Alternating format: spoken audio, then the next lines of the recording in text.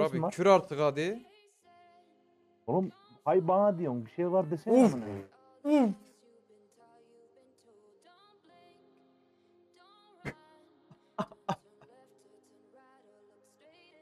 Ya senin ben o... Hı? Düz git.